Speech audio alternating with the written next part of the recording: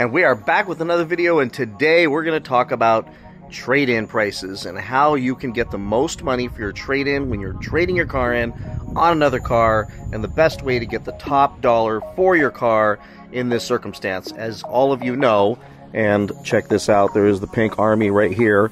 But as all of you know, if you've been watching a while, I traded in my white 2022 Scat Pack in on this 2023 Last Call Special Edition Swinger, and I got a what I believe to be a phenomenal price in a declining market on my Dodge Charger. And in this video, I'm going to show you how I did that. I really did deliberately put the time in to make sure that I didn't get hosed on that Charger. And I was fully prepared to back out of this deal, not do this deal, not purchase the car, or not trade in my car and purchase this car and then sell my car myself if I didn't get the price I wanted out of my Charger. I was realistic about the price and I got the price I was asking for. But let's jump in this thing and I will explain to you how I did it and how you can make sure that when you trade in your car or you sell your used car that you get the best price. Now a few videos ago I backed over my Insta360 Go 3 camera and it fell down. This time we're going to try it with the flip screen down so that it works and see if you can get some good video here. See if it knocks it over. All right, let's see if you can get this shot.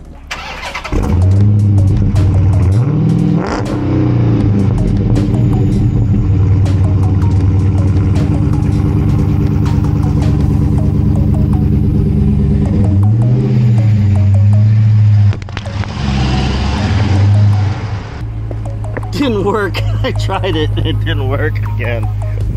I guess this front, well maybe it's, I don't know, we'll see where it fell down. You, well you saw where it fell. Anyways, ah, I'll keep trying. Maybe I'll take off little tripod, that'll work. That'll work next time. All right, let's get this video started. All right, so let's talk about my 2022 Scat Pack Charger that I ended up trading in on this swinger just a couple of months ago. That car I bought, I think it was in July of 2022 and then I drove that car home. And if you've been following the channel, you know that because you watched me do it. And you can get the details, so if I'm wrong on these details, I apologize, but I'm going off of memory rather than going back and watching the videos. I believe I put maybe three grand down or something on the car at the time, and rates were really good, so I wasn't too worried about it. And I drove that car about, well, what do you what do you think? This is maybe like a year and three months or something like that. I put 14,000 miles on that charger and I did a ton of content with it. I had a lot of fun with it. It, I, was my daily driver, so I drove it for work. So I collected mileage on reimbursements on it, and I made money on YouTube with it. So in the end, the car worked out for me. I had no plans on getting rid of that car until I don't even think I was going to get rid of when the demon comes. But I had no plans on getting rid of that car. That was good. But I was doing research for you all to make videos on the markups and one of the dealers said, would you buy it today if I sold it to you for sticker? And I said, yep. And I went and got a check and went down there. Now the only thing hanging up that deal at the time was what I was going to get for my charger because I needed to sell that charger to be able to buy this new car or at the very least I needed to know that one of the cars like something had to happen. That charger would have to get sold. Even if I bought the Swinger, I couldn't have the charger also it wouldn't make any sense. Now I'm just doubling my expenses in the house. So that charger had to go. So I told him to do the math, let me know what they would pay. And then I went and I did my research. And this is point number one that I'm going to share with you all. I did my research and I found out what CarMax, Carvana, Shift, Car Buyer USA, Gimme the VIN, KBB.com, Edmunds, and all these sites, I found out what all of them would pay for the car. Put the VIN number in, and they gave me a value and a cash price for the car. And in my situation, it was Car Buyer USA that offered me the highest amount of money. Now, the offers were wildly swinging from crazy directions. The lowest, I think, was I think it was Carvana.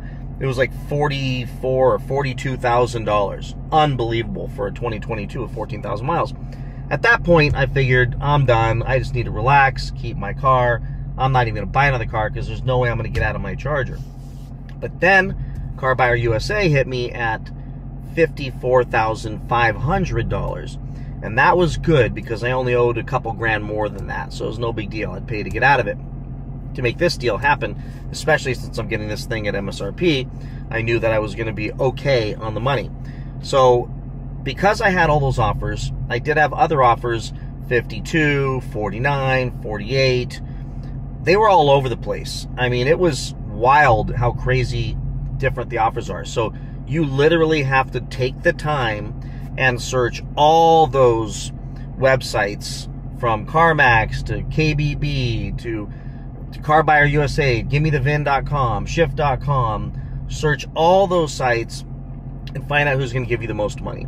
Because you will get a baseline. And then if you're good with that number, you can choose at that point to, if, if you have a number that you would be good with and you know that it's pushing the envelope, to make that your baseline in which you will take for that car when you go to that dealership. Now, for me, I knew 54.5 was a phenomenal offer. I knew I'd be crazy not to take that much for that car, considering prices are softening and I had 14,000 miles on it and I had a fender bender in the front that did show on the Carfax.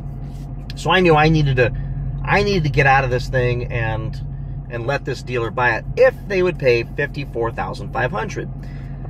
I was completely good to go with Car Buyer USA that if I would have just clicked let's go ahead and do this that I could sell that car. That offer was good for I think it was 5 or 6 days or something like that. So I was going to be okay. I went down to the dealership, got my check from the credit union for the new car, and I told them, if you can get me what this offer, and I showed them that offer, if you can match it, I'm not looking for you to beat it, but if you can match this offer, we're good. We'll do this deal, and I'll buy this other car. If not, I'm not saying I won't buy this car, because the price was too good on this car for me not to buy it, and it was everything I've ever wanted in a car. But I'm probably not going to sell you my car if it's less than that, only because I knew I could literally just sell it to Car Buyer USA and they would take the car for 54.5. So I didn't have to trade the car in at that point because I had a buyer in my back pocket.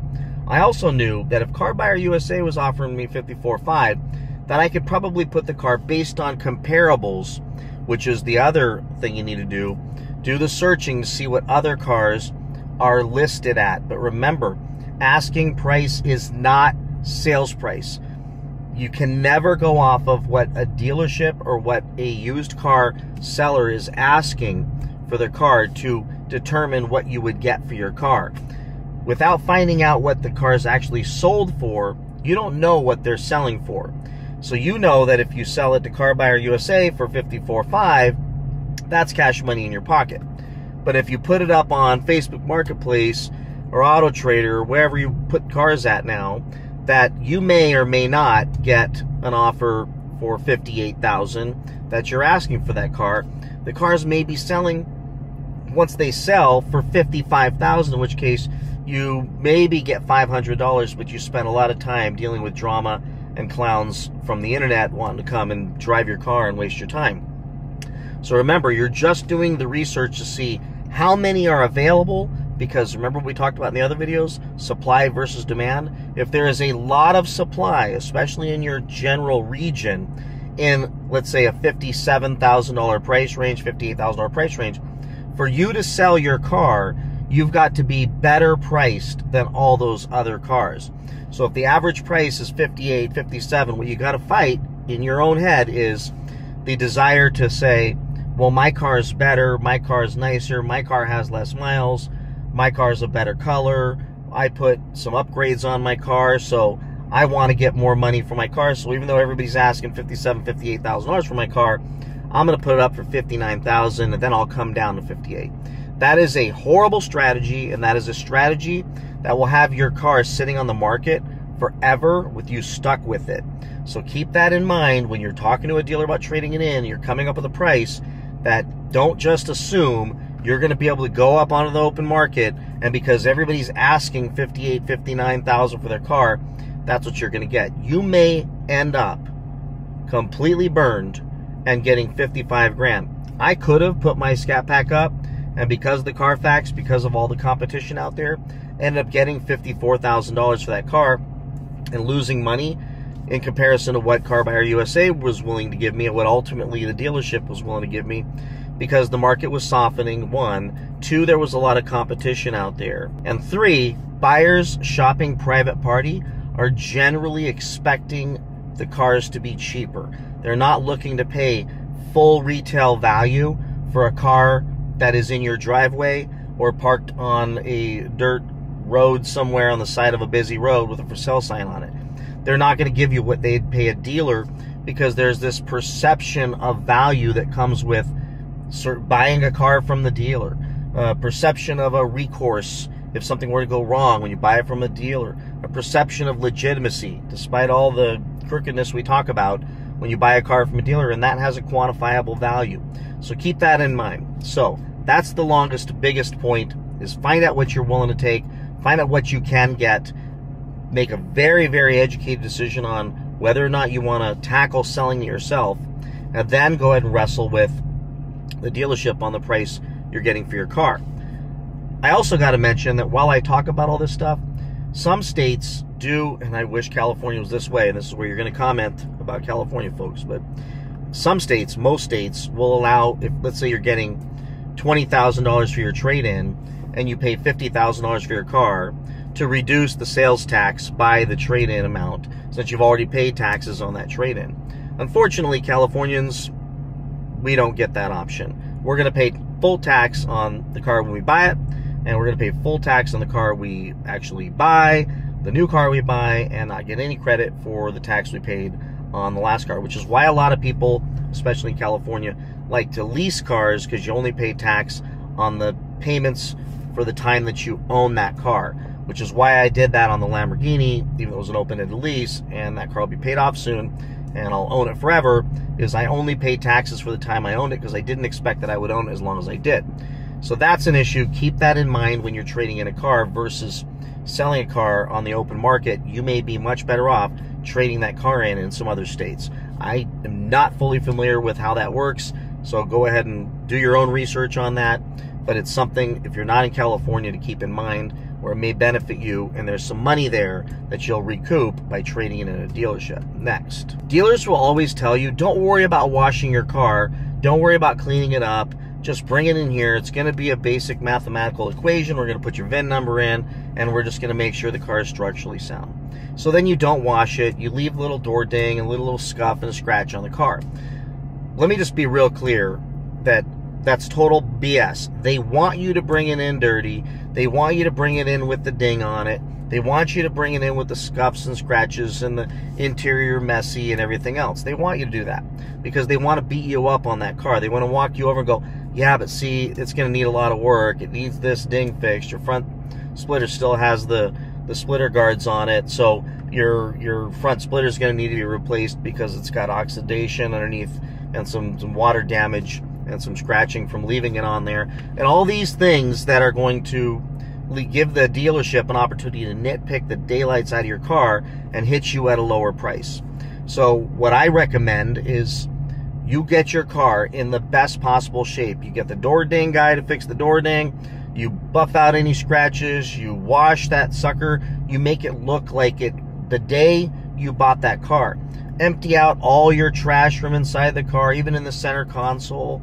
And even what I do is I leave, I always leave these things here, not because I'm trying to flex, whoops, but it's like brand new. So I will flop that thing back out there and they'll think, man, this thing's been, been taken care of. It's just creating a perception of value, a perception of condition that makes them feel like the overall condition of this car is actually good. By the way, don't forget about cleaning the engine bay.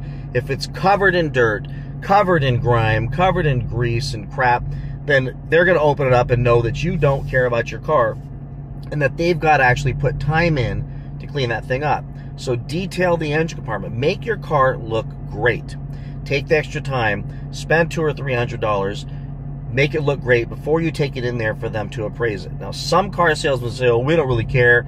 They do care because you're dealing with human be human beings. You're dealing with human beings where their brains are helping them, are, are leading them to make this decision. While the computer's making a decision on the price on the car, when you start to negotiate that price up from what the computer said it's worth, it's going to come down to that individual's perception of the value and condition of that car and their ability to resell that car if that car is something they would put on their lot. So you want to make that car look great. Plus, if all it's going to need is a wash and to stick it out on the lot, great. If you've done brakes recently, if you have new tires on it, have all those receipts, books, and records and show them all this was done because that tells them up front they can take away from the average cost of refurbing that car to be able to sell it if you've already done this and if you've done it all the dealership they can easily verify all that maintenance was done so the recent service was done the tires are new the brakes are newer they're not going to have to do any of that stuff which means they can give you a little bit more money for that car and actually take away from the cost that they have built into the offer for them to refurb and get that car back on the lot. So lead with the condition of that car. Make it perfect, as perfect as possible. And if not, then don't talk about it. If you, you know you need brakes, don't talk about it. If you know your tires are bad, don't talk about it. Just know you're going to have to wrestle with them a little bit more because they're going to go out and check the tread most likely, almost 100% of the time, they're going to make sure they're not going to have to drop $2,000 on tires. Next. Now, this one applies to California for sure, out of state as well, if you, because, because the tax issues when you trade in your car, if you get a credit for the taxes, you may be stuck with trading the car in. But you can still do this, which is negotiate the price separately, meaning make an ask them if they buy cars before you even go in there to buy a car. If they do, then find out what they would pay for that car, but without the other car being involved, without you purchasing the other car. And that might take a little bit extra work, and you may need to go to a couple different dealerships to, to find out what they would pay you for the car outright just to buy it from you, and then negotiate that price the best you can, and then go back into the negotiations on the trade on the on the new purchase versus your trade in with that baseline. Here's why. Because remember the Foursquare we talked about in, the, in one of the previous videos?